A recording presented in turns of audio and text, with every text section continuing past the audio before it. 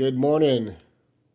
It is morning here for me. Um, I want to just take a minute and talk about bending, um, sort of give you some insight as to what I think, you know, would be things to consider to uh, push yourself into the category of a high level bender, confident bender, somebody who's musically um, engaging in these bends in a way that sounds and feels musical, not just to you, but to the listener. And today I'm doing an entire class on bending. It's a $15 class. It's not too late to sign up. I'll put a link in the video description later, but basically, um, this class is a $15 class, a little lower price point than I normally do. And this class is all about, it's kind of like if you were to go to a yoga class and go through the motions and work out, um, doing all the poses and stretches. It's, it's a way for you to stay on track and go spend an hour with me getting these practice points.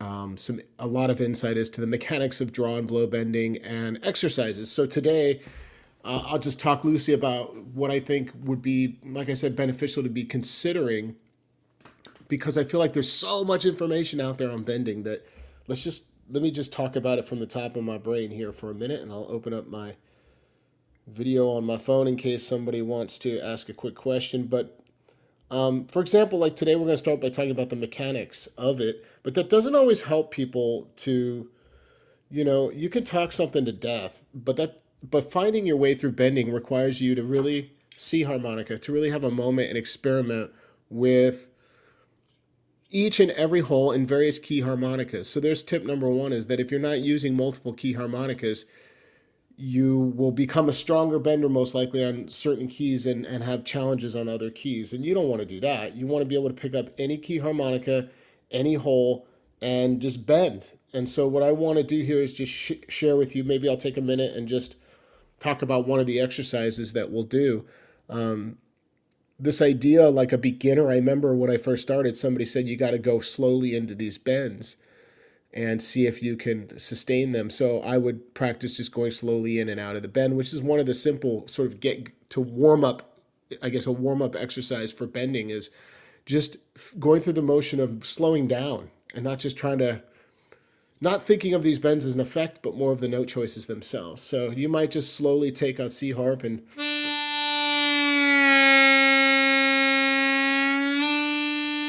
start with that thing and really see you're evaluating the tone, you're evaluating the quality of the note.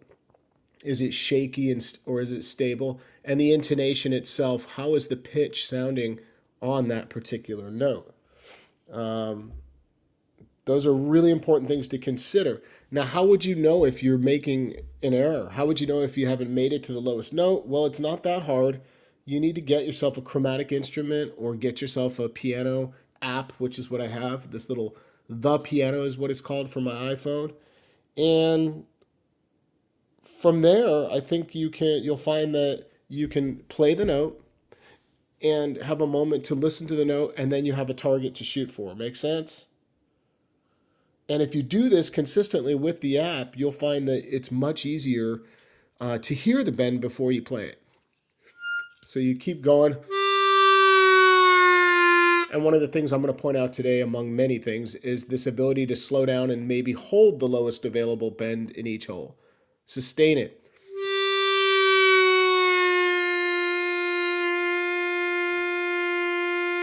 So we'll be doing some of that together. But it's a way for you to actually ask questions in these classes and take a minute and say, here's my particular problem. This key harmonica, this particular bend. Um, here's, let me, you know, you can describe what's going on and we can have a minute and try to problem solve all of that. Sorry, I'm looking for something. I've almost found it. Now these these technique classes are a series of classes that I'll offer one a month. So bending is the first series. Then the second series will be um, tongue blocking. And here's the link if you want it. I just put it in the chat. And then the third one is mixed technique, like warbles and vibratos, all the other remaining sort of techniques that fill in the gaps for the for your approach to playing. Specifically, I guess a lot in the world of blues, blues harmonica, but also other genres. And I would just encourage you guys to really spend more time with practicing bending in a musical context. This is another sort of tip.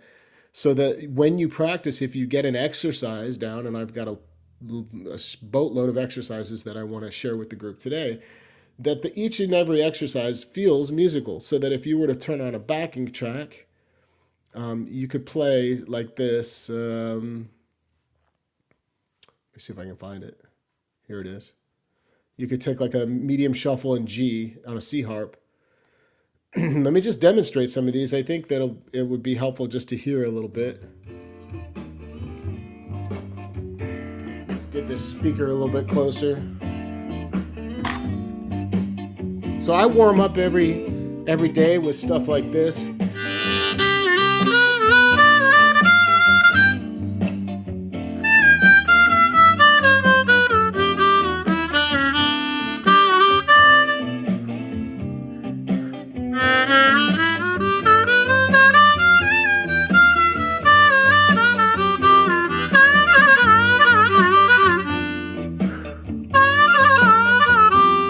Slow down.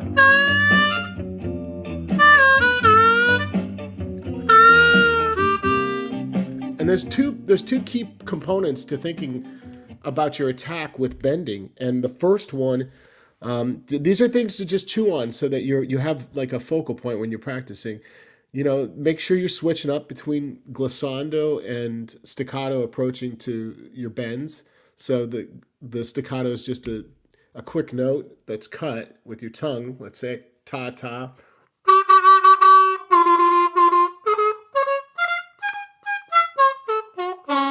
And then the glissando is just these microtonal slow in and out. And so you can begin to very much target uh, the type of work that you want to get out of these bends, the type of benefit, I suppose, that you want to get out of the bends. Um, and yeah, so if you're not like hyper focused on bending, and it doesn't matter what level player you are. To me, it's the it's the most crucial of all of the techniques that you need to work on. Okay? That's what I want to say is that if you're not spending that time, you're likely spending it doing something that you're already further along with. And you might as well spend time on the things that are most challenging. And I know for me personally and most people, bending is something you constantly want to refine. All right. The step one would be to really work out the how to's of what's happening, you know, the mechanics of your bends, both draw and blow bends. And that's challenging, I think, for a beginner to decipher uh, whether the tongue position is giving them one note or the other because they don't even know what note, what the note should sound like. So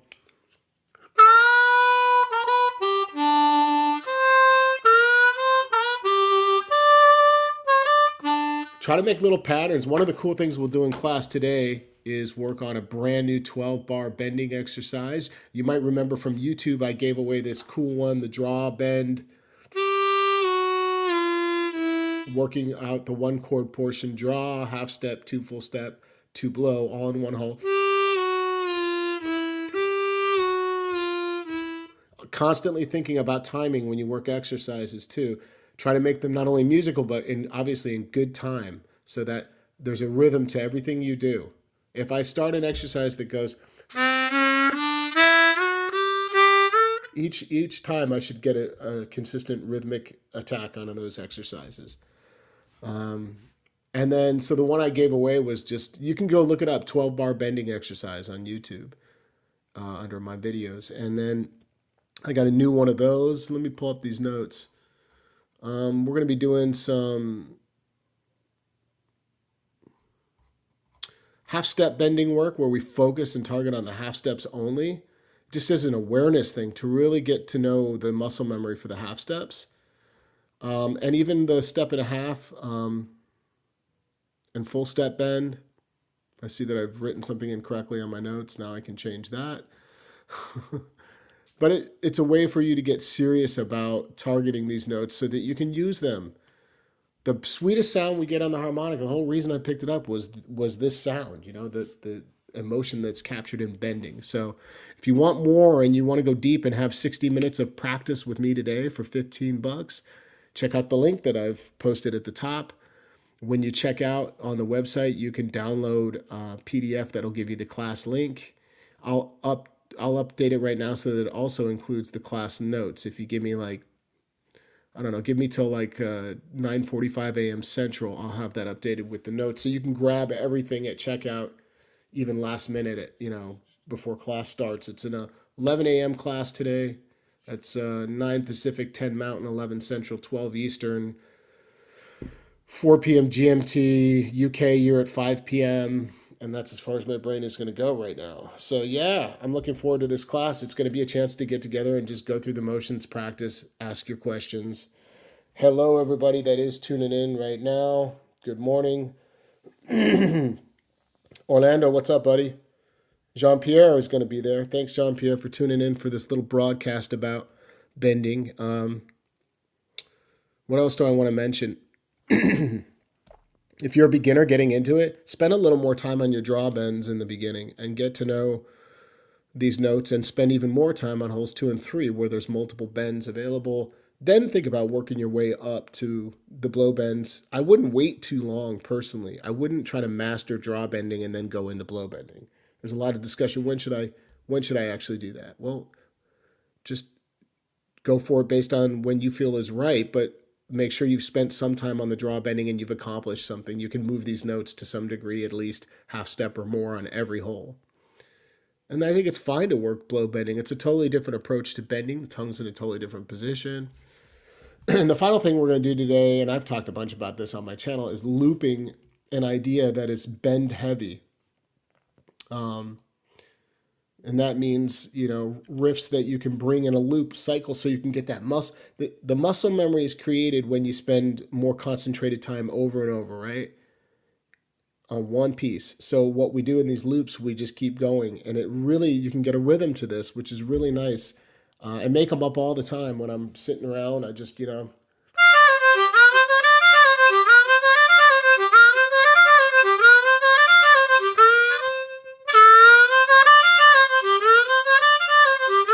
key is that it brings you back to the note you started at, and you can just play it as a loop.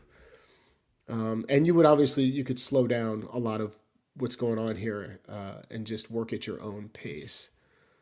Um, think about the final tip is sort of get to know that the the become intimately aware of tongue position, which is something we're getting into in class, and think about the connection between the top of the tongue and the roof of the mouth. Think about that and really think about the areas to target because when you're bending, you're, you're trying to cut off the airflow. You're trying to choke these notes out. So in the process of doing that, the notes go a little funny on you at first, but then you learn how to adjust your airflow. But you got to think about the connection of the top of the tongue. Whether you're a tongue blocker or pucker player, in class, I'm focused on pucker bending, but I am going to explain my best ability, to my best ability, explain uh, draw tongue block bending which I, you know, I use that. I'm a little more comfortable on like an A.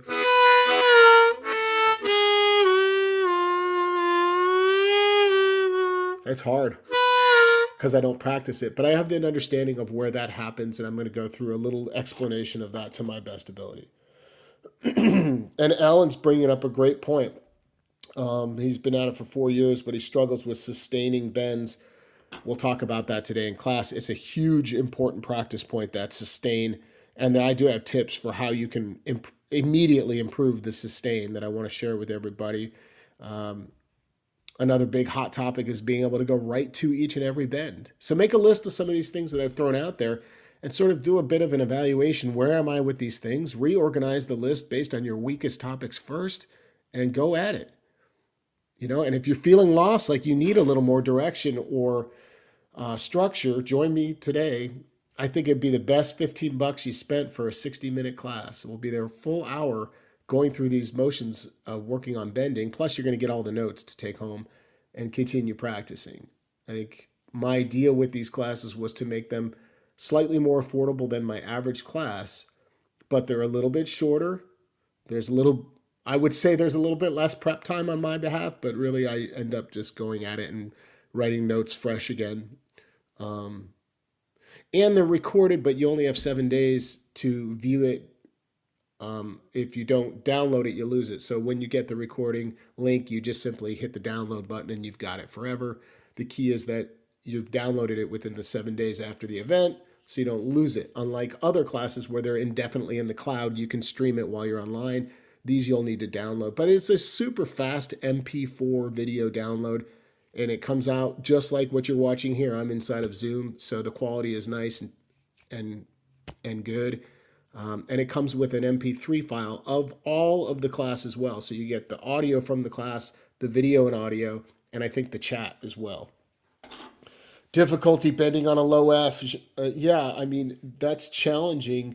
My only tip to you when you get to the really low keys, uh, like G and low F and then lower, is that you have to start unhinging this jaw and really loosen everything up and and really work on the, the, changing the shape of of your mouth and your jaw to open it up so that the tongue has room to really move and flex in that ultra high way back positioning to get that um, bend to come out. So bending's tricky, but these exercises are key, everybody. If you don't have at least a few exercises that you run through, that doesn't mean just trying to bend on each hole randomly.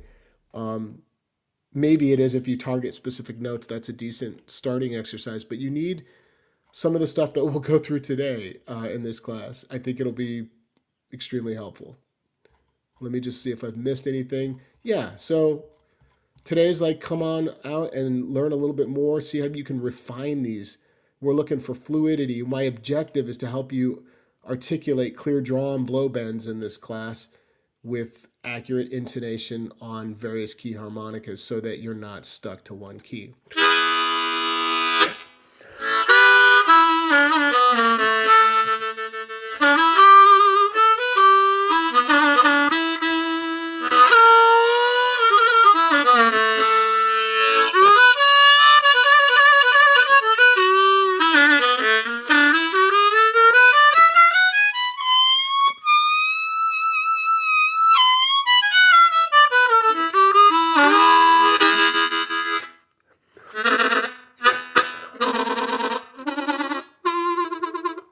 just start experimenting, you know?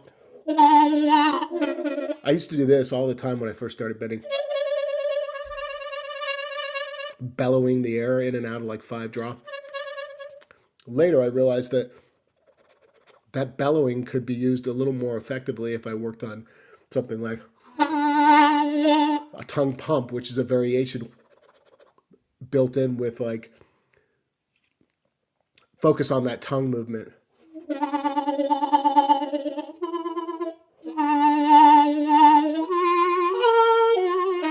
You can get some really fast, almost vibrato sounding kind of um, bending going on there with just the tongue movement. So,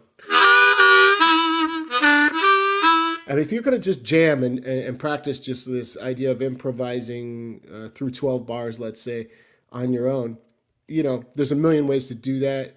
And I'm going to come back and demo some stuff that came from uh, the front porch and back porch class that I offered, which is this idea of just when no one's around, and you have no uh, uh, what's the word no accompaniment and what what can you do? Well sometimes it can be just riff oriented.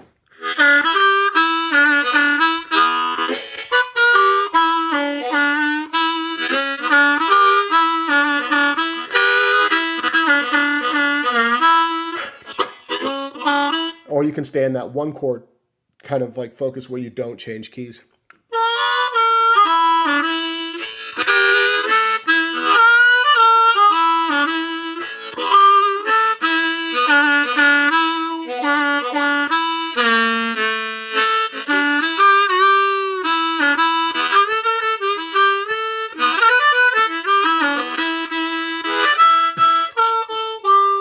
trying to just target the bends primarily while I'm improvising. I'm just thinking, how can I incorporate as much of the bends? And the way to think about that stuff, everyone, if you're not, is think about it in relationship to the chord that you want to play. If it's a one chord, you can get away with playing just about every every bend available on the bottom.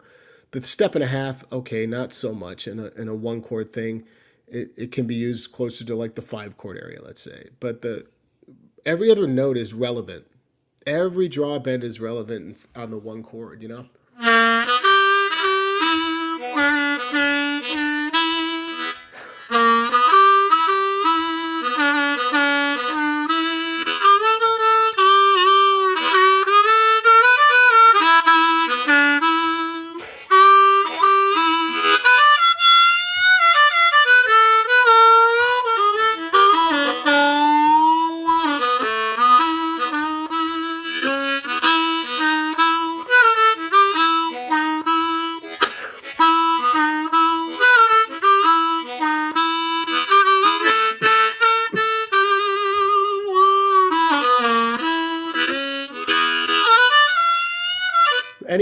Go, just start experimenting with bringing it into your phrasing. Use the bends. Go there as often as you can. Um, and then, you know, like I mentioned earlier, spend more time on the areas that are tough. Don't don't shy away from something because it's not clicking. Just think about it in a different way. Try to approach it from a new angle. Yes, Roger, that totally makes sense because you're improving. So Roger's comment, and then we'll we'll end it here. I think, um, you know, just when you think you have bending down, then I think I don't. Does that make sense? Yeah, because you're constantly learning. You're constantly uh, learning something. Fre- you hear something. Your ears are catching new things that you haven't tried yet. Uh, so yeah, that does make sense. Can you play a single note and make it sound good? I, I mean, I hope so. Every note you play should sound nice and strong.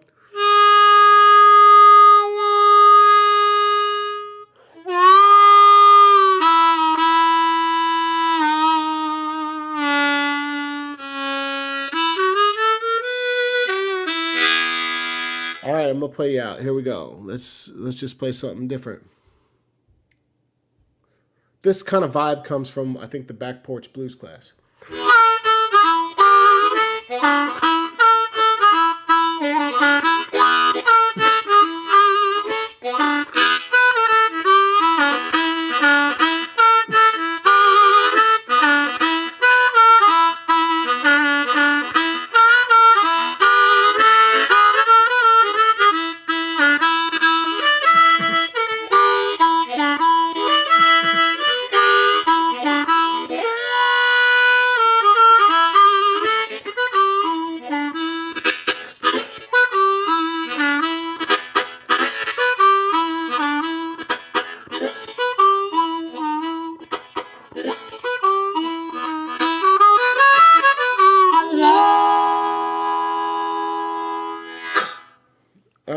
Join me in this class if you're inclined to uh, work on your bending here, in the, and it starts in an hour and a half. So I'm going to go get some things done beforehand. Thanks for hanging out on this glorious Sunday with me, and I'll catch you soon.